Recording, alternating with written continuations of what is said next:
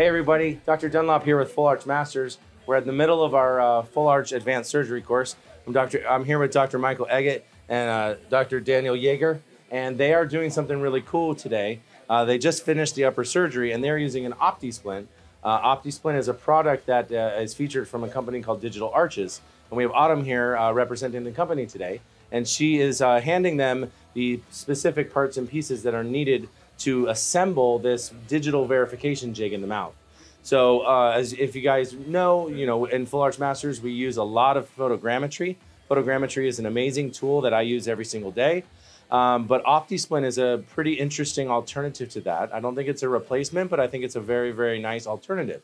So if you're not in the market for a uh, photogrammetry scanner and you still want to do digital full arch cases, OptiSplint is a very, very cool little tool. So what they're doing right now is they are taking off the multi-unit healing caps and they're installing these Opti, OptiSplint scan bodies. And what they do is they register the position of the implants digitally. And once they're uh, assembled in the mouth, we're going to put like a honeycomb rigid uh, structure that's going to connect all of the OptiSplint scan bodies together. And so the benefit of this is that you can remove this from the mouth and scan it outside the mouth. So if you follow any of the posts that I do, I don't have a tremendous amount of faith in intraoral scanners to give me my implant positions, especially during surgery. so the OptiSplint has a unique advantage of being able to be removed from the mouth and scanned on a tabletop scanner or an intraoral scanner outside the mouth.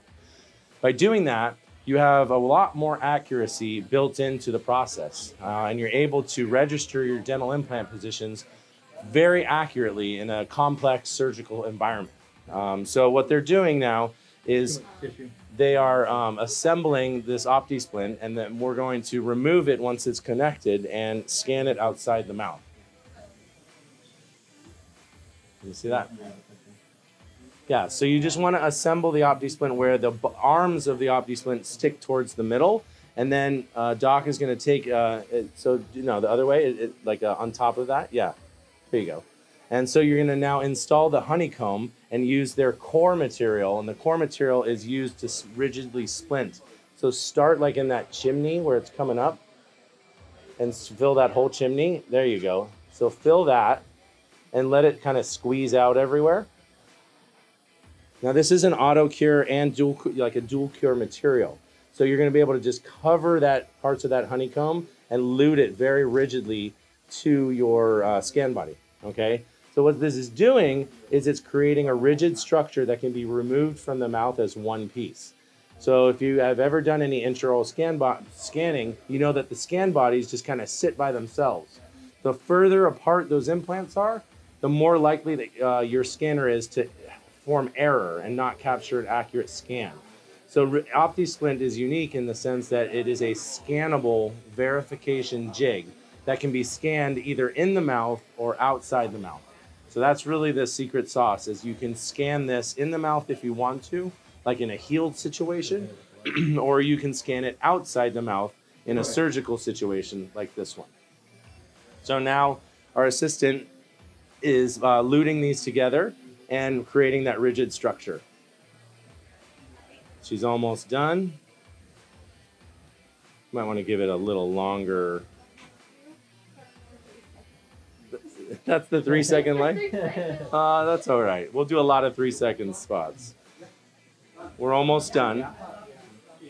So we're just going to make sure that you don't remove it and have anything move. That would be a bad thing. So we're going to overuse our little core material, make sure that it's luted together and nothing's moving. So if you're comfortable with that, then you can go ahead and unscrew all four of those screws and we'll see if we can get this thing out as one piece. So hopefully you guys can start to see that we're creating a rigid structure in the mouth similar to like a jig and tray verification. That would be like an analog technique. A lab would make you a rigid verification jig that you would assemble in the mouth connect together with acrylic or composite and then remove it from the mouth. That's an old school technique. I've done thousands of them. They're very fr frustrating and annoying if you're doing a lot of them. This is one time done, and you can keep this in the case pan for the whole remainder of the case. So if you ever need to reference back to implant positions, you have this thing. You can pour a model from it and have a working model. Um, you can scan it over and over again You can mail it somewhere and have them scan it. So there's a lot of versatility involved uh, or incorporated into this design. And the guys from Digital Arches have really put together a quality product that is reproducible. And a lot of our alumni and Full Arch Masters are using OptiSplints on a regular basis, um, either as an alternative to their photogrammetry or as a replacement to it. Um, so if you're just getting into Full Arch, you want to do digital cases, but you don't want to invest in some of the expensive equipment, I think it's very smart to use an OptiSplint and invest the money you did not spend in your practice development. Invest in personnel, invest in marketing, invest in business strategy. That will allow you to grow your practice to a level where the photogrammetry scanner is a big, uh, is a necessary investment for, for scale. Um, so until you get there, I think that it's a really, really wonderful uh, advancement in the full arch world. So I, I, I, applaud them for doing that. So he's now wiggling off the OptiSplint. And hopefully, if they luted it together um, sufficiently, it'll just come out as one piece. So put the, we can just put it right on the table here. So now we have a luted verification jig outside the mouth. Maybe you can, Dan, you can pick it up and just turn it the other way. Yeah, so now you can see the underside has the implant connections and the honeycomb is connecting it all together as one piece. Now this can be washed off and sprayed and then scanned on our scan plate. Um, do you want to just maybe rinse it off? so, like I said, intraoral scanners in this surgical environment are not very accurate. There's a lot of moving parts. There's a sedated patient. There's a lot of heme and a lot of saliva. Um, not a very good amenable place to scan with an intraoral scanner. Scanning on this platform outside the mouth is much more reliable, and this is what we recommend you do for your immediate load procedures.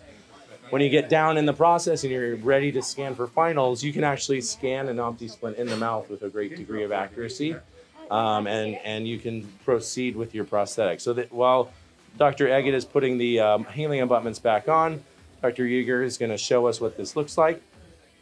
And so now you have a scannable verification jig that can now be scanned outside the mouth and sent to the lab. So whether you're working in town with your lab, you're working across the state, or even in a different country, you're going to be able to transmit a scan of this to them and have a digital workflow done while you wait.